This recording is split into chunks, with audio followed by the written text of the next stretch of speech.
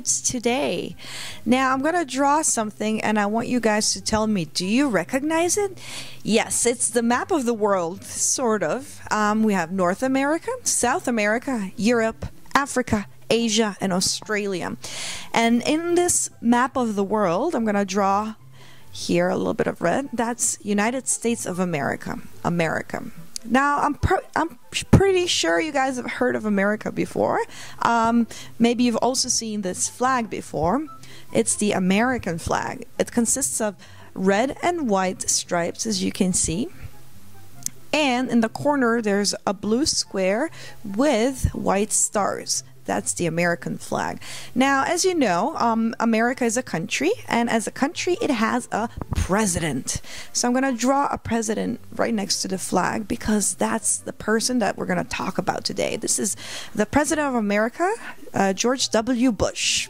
He was the 43rd president of the United States of America. But funny thing, funny story about him is that after he finished his term, um, he was a president from 2001 until 2009. And after 2009, he started doing something unusual.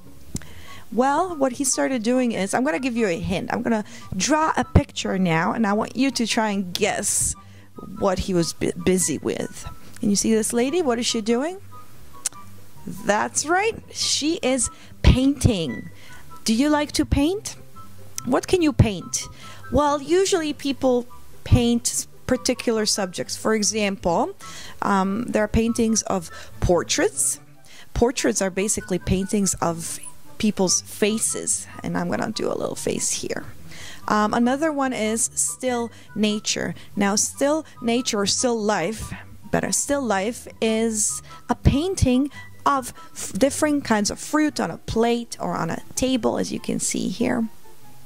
Then there's also animals. That's a popular subject as well. Maybe horses are very popular to draw. And also landscapes. Landscape is when you draw a nature around you, like a river or a hill or a tree. Now, what did George W. Bush paint? What what is he painting? He's painting portraits and he made 24 portraits.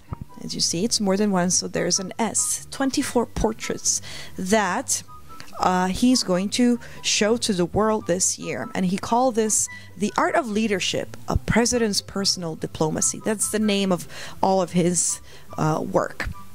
Now, um, where is he going to show his work? Nobody has seen it so far, but he's going to display it in a library that's actually called after him, George W. Bush Library in Texas. All right, thank you for joining me today. Uh, I hope you learned that anybody can draw. Uh, check us out at hellokidstoday.com, and I will see you soon. Bye.